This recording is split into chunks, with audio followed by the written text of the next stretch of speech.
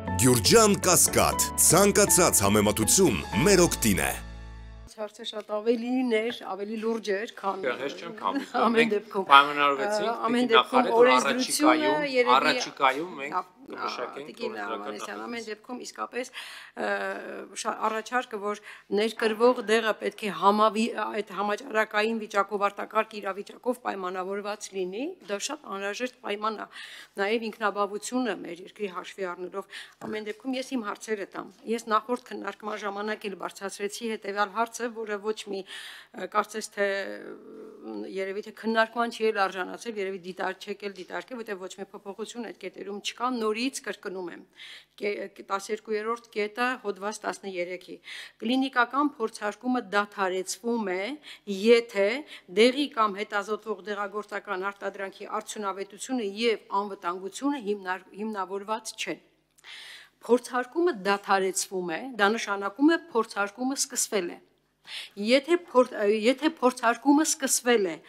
առանց այդ դեղի արդյունավետության եւ անվտանգության հիմնավորման ինչպես է սկսվել ով է թույլ տվել այդ սկիզբը խոսքը սրա մասին էր եւ դուք խոստացաք նայել ես ձևակերպումը եւ ուղում մտցնել դաթարեցվել դա նշանակում է սկսվել սկսվել առանց հիմնավորման այդ ո՞նց է պատահում Այս մեկ հաջորդ հարցս որ նորից մնացել է այսպես առանց քննարկման կամ դե ընդդիմությունն ա մի բան ասել բայց Նայեք, դեղի գրանցումը ուժը կորցրած է ճանաչվում, եթե հետ գրանցումային դիտարկումների արդյունքում հաստատվել է ռիսկ օգուտ, օգուտ ռիսկ, այդ հարաբանը փոխել եք թե չէ, չգիտեմ, անբարենպաստ հարաբերակցության։ Ինչ է նշանակում ռիսկ օգուտ կամ օգուտ ռիսկ անբարենպաստ հարաբերակցություն դեղերի գրանցումից հետո դեղի գործարկման անբարենպաստ հարաբերակցությունը որն է, դա իրավական որոշակիության խնդիր ունի 50%-ը, 50-50, 70-30, 40-60, թե ասենք օրինակ 49% մահբերող դեղը եւ 51%-ը ապահովումը, դա համարենք բարենպաստ հարաբերակցություն թե 1% 99 1.99 համարենք անբարենպաստ սա այնպիսի բան է որը խիստ որոշակիություն է պահանջում Ես ուզում եմ հիմա լսել։ Հիմա ես ուզում եմ այդ հիմնավորումը լսել։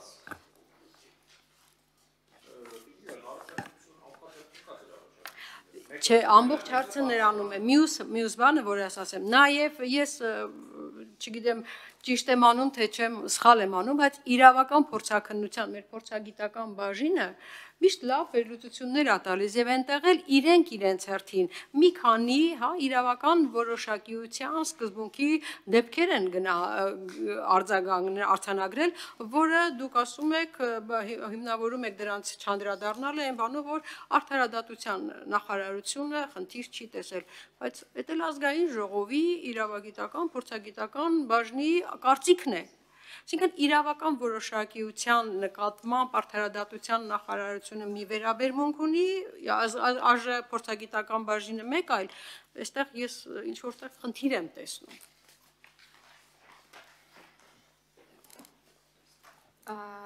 Շնորհակալություն Տիկին Գյուրեղյան դիտարկումների հարցերի հետ, Ճիշտն ասած, ձեր դիտարկումը, որ ընդդիմությունը ինչ որ բան ասում է, կարծում եմ այդքան էլ տեղին չի, որովհետև այո, նախ նախորդ նախագծի մեջ բոլոր այն առաջարկները, որոնք որ ընկալելի եւ նախագիծը նախագծի բարելավման եւ մեր քաղաքականության մեջ տեղավորվել են, ընդունելի են եղել։ Հիմա գալով դեղերի մասին օրենքի ձեր բարձրացրած հարցերին, տեսեք, նորից անդրադառնալով այս դեղերի գնահատման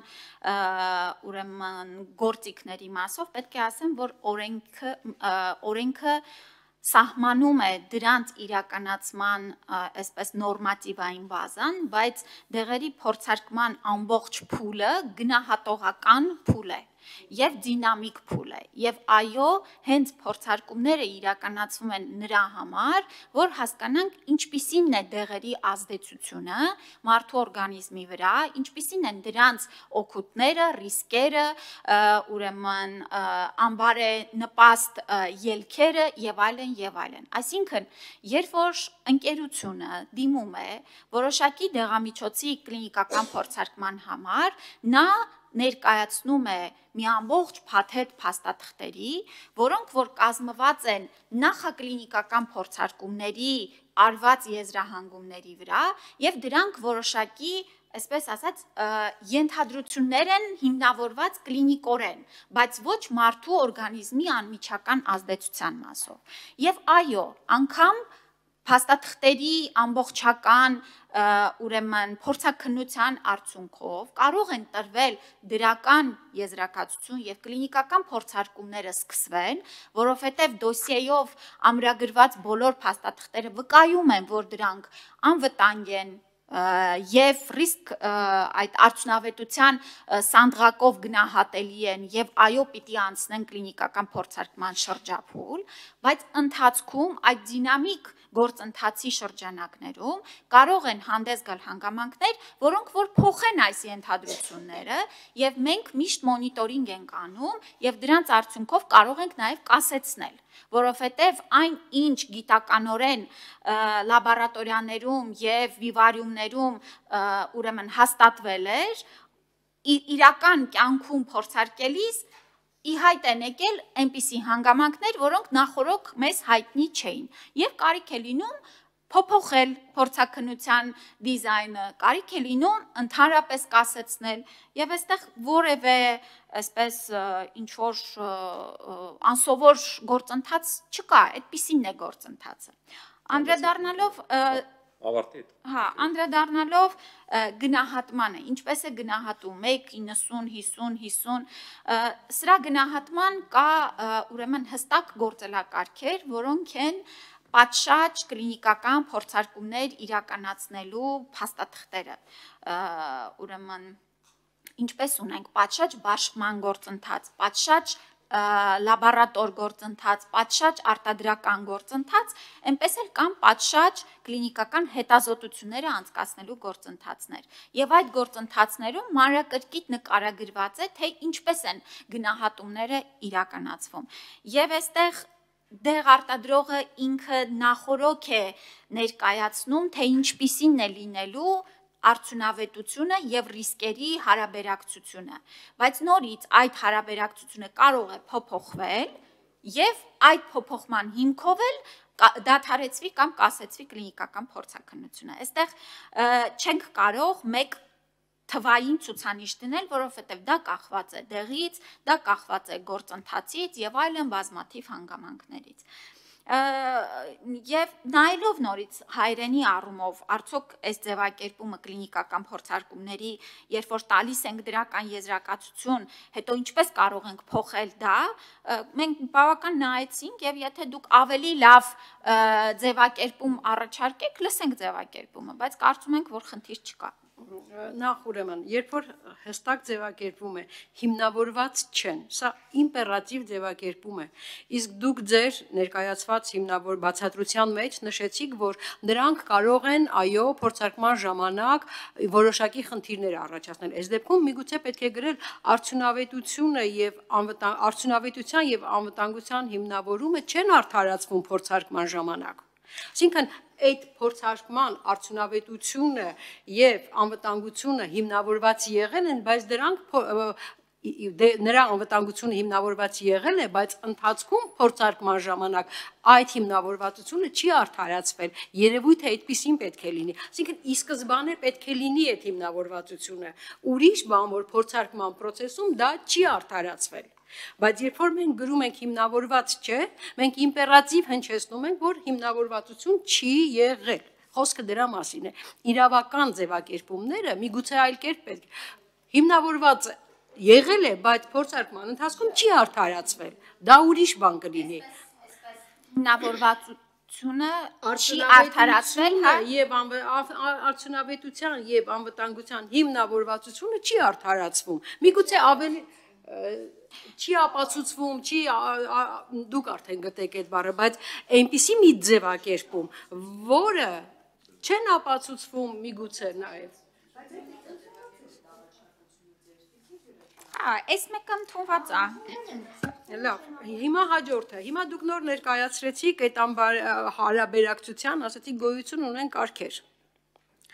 կարգեր ու ասեցիք պատշաճ պատշաճ հարաբերակցության մասին։ Ձևակերպումը պատշաճ, այսինքն այդ փաստաթղթերում պատշաճ հարաբերակցության մասին է խոսվում։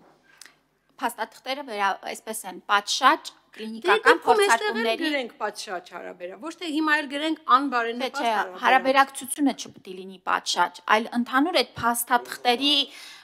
ամբողջ փաթեթը եւ գործընթացը կոչվում է որևէ փաստաթղթում հարց եմ տալիս։ Ես անցած անգամ էլ այդ հարց տվեցի։ գո- Ձե կա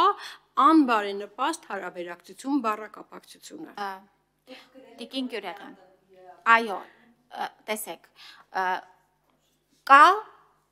դուք Ես ես, անգլերեն ասեմ, որովհետեւ անգլերենը համընդհանուր է։ Տեսեք, հայերեն լեզվով գրած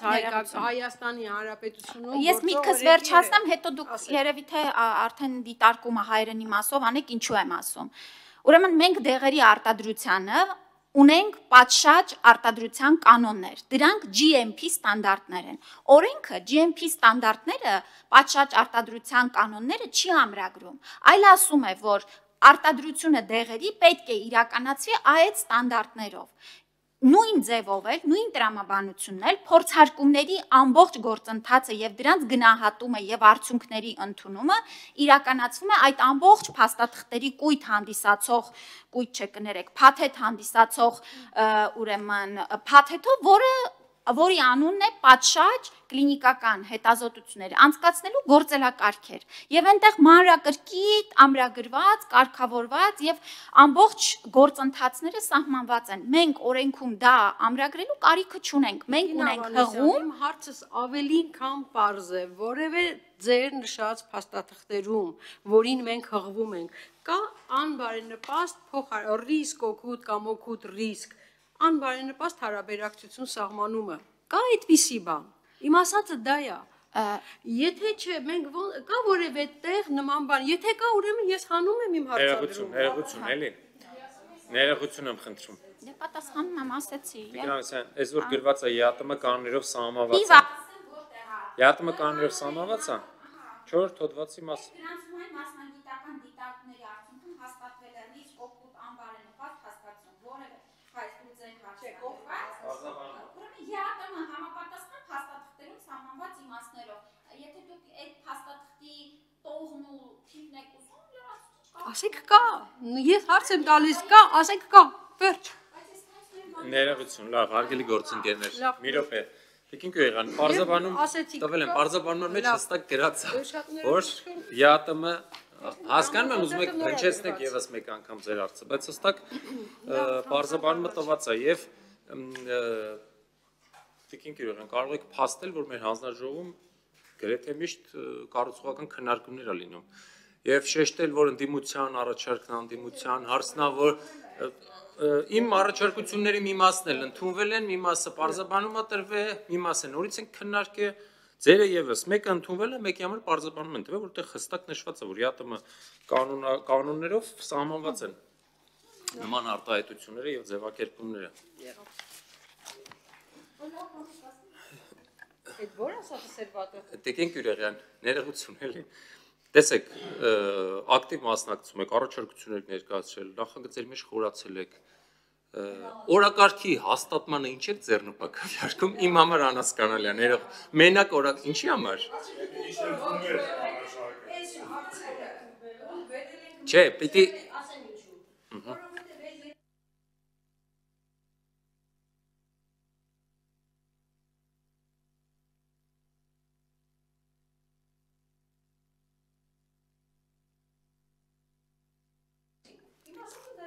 Տիկին Գյուղան, հետաձգվել է, հետաձգվել է, որովհետև նման հարցեր է հասկացա։ Հիմա ես միտես հետաձգվել է, որովհետև քննարկման հարցեր են եղել։ Հիմա հետաձգում ենք նեղվում եք ինչա հետաձգվել շուտ դի արվի։ Արագ-արագ քննարկում անց հաս- հաստատում ենք սրտներում եք։ Առավել եւս դες մենք քննարկենք դի կողք քվյարք քննար։ Եթե մենք է ձեռնպա քվյարկենք օրակ Քվեարկությունը քննարկման նյութ չի։ քննարկման նյութ չի, ինձ ես ուղղակի հետաքրքրվեցի ընդամենը։ Լավ, ուրեմն եթե այլ տեսակետներ, կարծիքներ չկան, ստեյության առաջարկությունները ընդունելի նախարարության կողմից ընդունելի առաջարկությունները փաթեթով կդնենք քվեարկության, որից հետո նախագիծը։ Դուք ունեք ամփոփաթերթը բաժանված, առանձին առանձին չներկայացնեմ։ Կառավարությունը եւս փոփոխություններ է կատարել, ես առաջարկություններ եմ կատարել եւ Տիկին Գյուրերյանը եւս։ Thank you